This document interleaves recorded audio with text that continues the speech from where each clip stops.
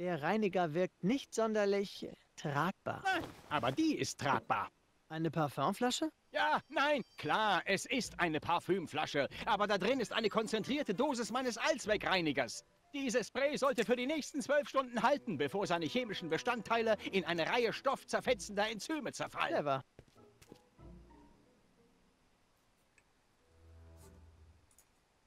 Was zur Hölle ist das? Was? Ja, also. Sorry, ich dachte, ich hätte eine Tarantel gesehen.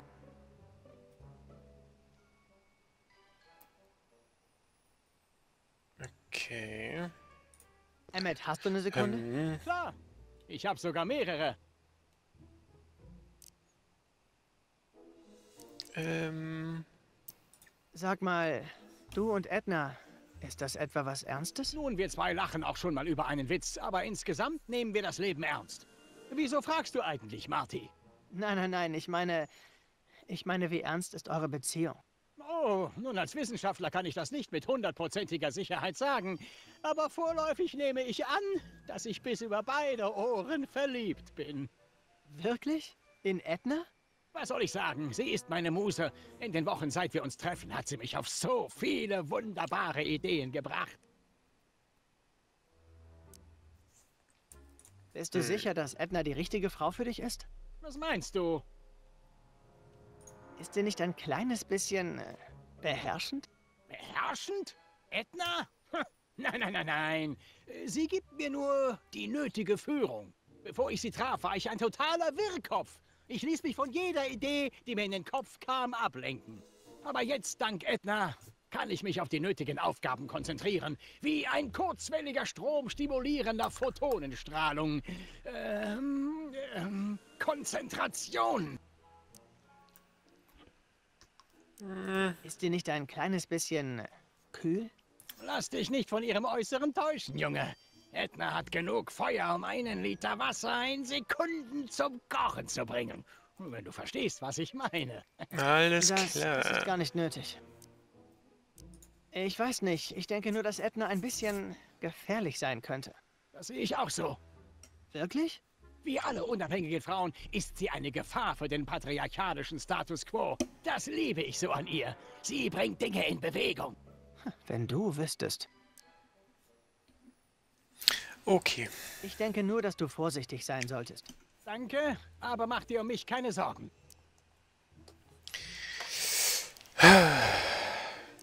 Sag mal, zeigst du diesen ganzen neuen Kram bei der Expo? Ja, das ist unser mentaler Affinitätsmesser. Mentale Affinitätsmesser? Ja, das wissen wir doch schon. Ich dachte, du arbeitest an irgendeinem Raketenauto. Das Raketenantriebssystem war nicht zu realisieren, wie er der Vorfall mit Einstein zeigte. Ach ja, was ist eigentlich mit Einstein? Ich wünschte, ich wüsste es. Bevor Edna und ich uns näher kamen, hatte ich an einer alternativen Antriebsmethode gebastelt. Unsere Gespräche über die Möglichkeit, moderne Technologien bei gesellschaftlichem Fehlverhalten einzusetzen, hat meine Forschungen in eine völlig neue Richtung gelenkt. Okay. Was ist ein mentaler Das Affinitätsmesser? wissen wir doch auch schon. Das weißt du nicht. Das ist die größte Erfindung seit der Egreniermaschine. Und was macht er? Er liest und wertet die geheimsten Wünsche des menschlichen Geistes aus. Warum willst du die Gedanken der Leute lesen? Nun, stell dir mal vor, Erkrankungen des Gehirns per Knopfdruck zu diagnostizieren oder herauszufinden, ob ein Zeuge im Gerichtssaal die Wahrheit sagt, indem man ihn an ein kleines Gerät anschließt. Das kann deine Maschine? Noch nicht. Im Augenblick ist es nur ein verbessertes Potentiometer. Aber mit den Jahren der Forschung und einer Menge Investoren wird der MAM in der Lage sein, unzählige Psychosen und Neurosen zu erkennen. Alkoholismus, Höhenangst, Ödipuskomplexe. Und? Ja, und damit ist das alles heilbar. Natürlich. Ist das so, ja? Egal. Ähm, Was ist mit den neuen Klamotten? Gefallen sie dir? Du siehst aus wie Colonel Sanders. Wer? Ah, unwichtig. Edna hat sie mir gegeben. Sie sagt, meine übliche Kleidung hätte zu wenig Pfiff für eine Expo. okay.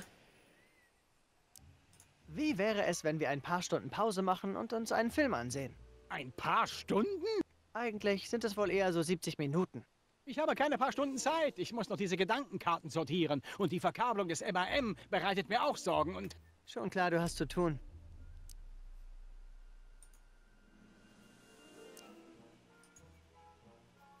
Wie läuft es denn mit dir und deinem Vater? Mich wundert, dass er dein Labor noch nicht abgerissen hat. Er ist immer noch sauer und droht, mich aus seinem Testament zu streichen. Doch ich hoffe, das gemeinnützige Potenzial meines mentalen Affinitätsmessers überzeugt ihn.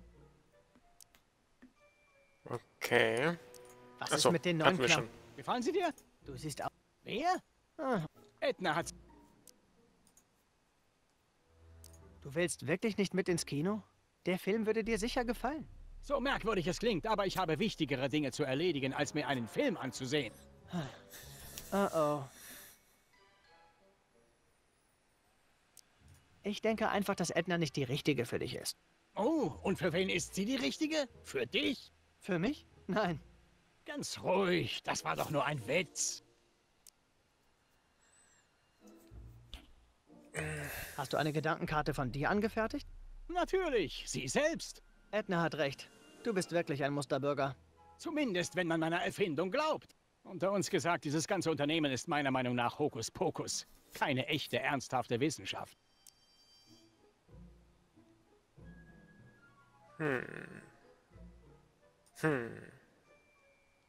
Ja, tja.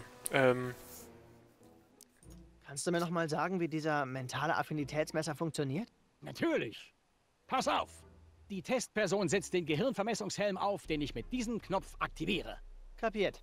Die Person wird visuellen Reizen ausgesetzt, die negative und positive Reaktionen hervorrufen, die dann von einem Gedankenkartendrucker aufgezeichnet werden. Richtig. Vollständige Gedankenkarten werden in den mentalen Affinitätsmesser eingegeben und somit der geistige Zustand der Person beurteilt. Okay. Jetzt habe ich's. okay. Du siehst beschäftigt aus. Wir können ja später reden. Ja, sicher.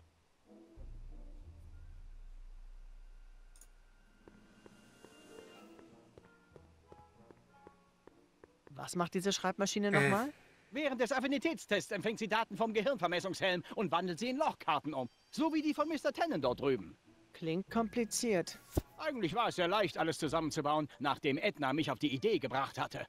Klingt für mich, als würdest du an härteren Problemen arbeiten. Was? Ähm, tut mir leid, ich muss weiterarbeiten. Also, diese kleinen Karten kommen in die Maschine rein und die sagt dir dann, ob jemand gut oder böse ist? So ungefähr. Der Helm erledigt die ganze Arbeit. Der mentale Affinitätsmesser ist nur ein verbesserter Spielautomat. Und wozu das dann alles? Edna sagt, dass Menschen Blitzlichter und schnelle Urteile mögen. Ich kann da nicht widersprechen. Immer wenn ich Edna küsse, sehe ich Blitze und verliere mein Urteilsvermögen. Du machst Witze. Okay, okay, okay. Entschuldigung, darf ich? Natürlich.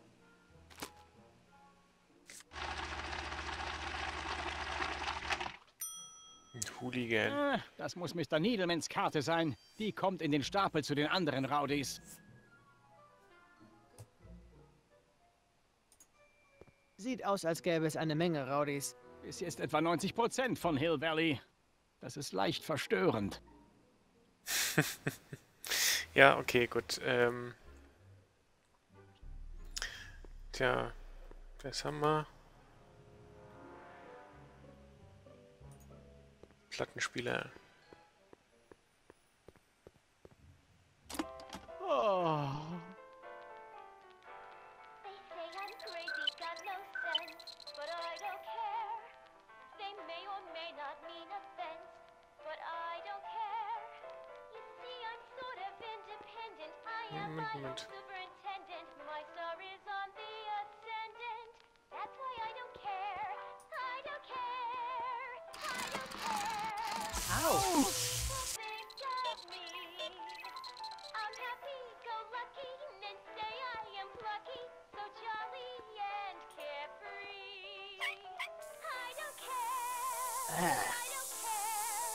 Das kriegen wir schon hin, dass der negativ wird hier.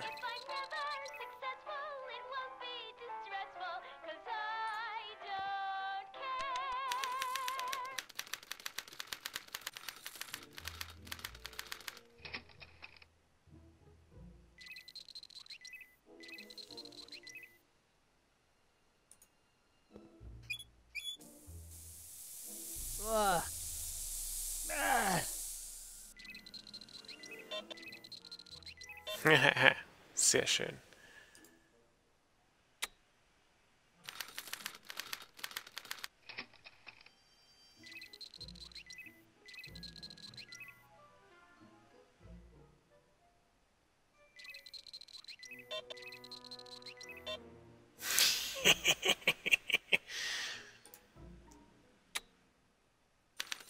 Obwohl, nein, Moment, das war scheiße.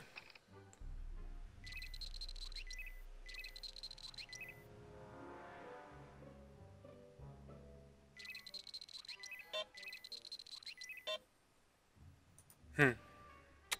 Okay.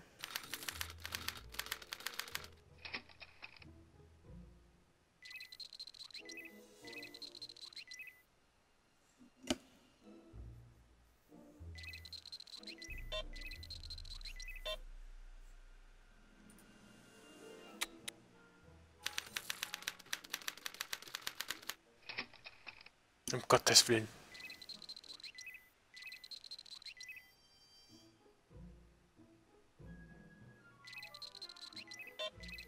Machen wir das Ventil mal wieder zu.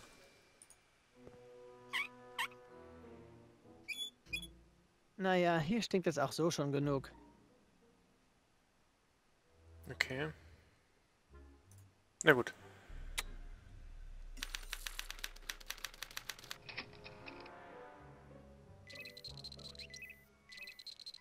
Nein, das hätte ich gern positiv.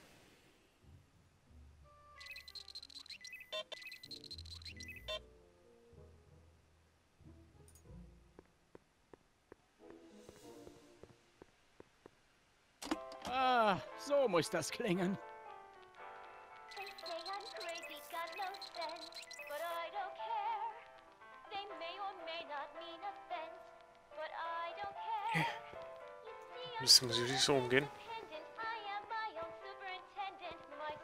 on the ascendant. That's why I don't care. Mach's doch zu. Gestank plus mehr Gestank ergibt vermutlich auch Gestank. Ja, aber du solltest doch zumachen. Ich möchte, dass es zugeht.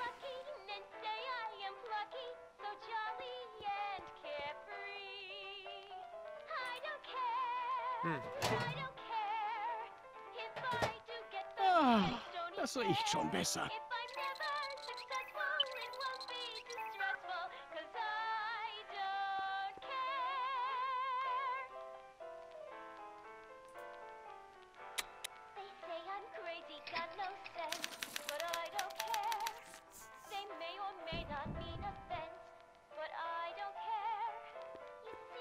So, jetzt schauen wir mal, was bei rausgekommen ist. Hier, Gedankenkarte.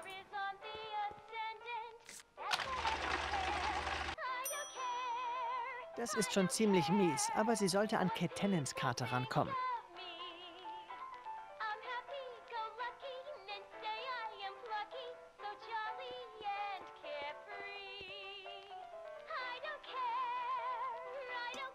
Love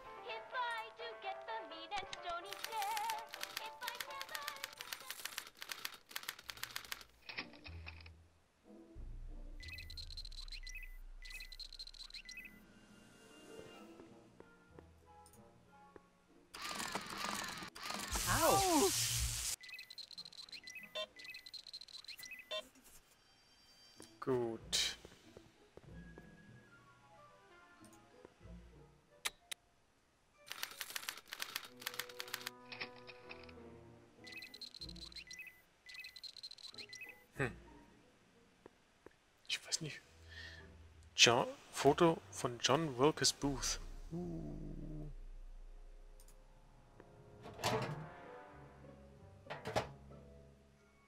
Vorsicht, der Duft darf sich nicht verflüchtigen.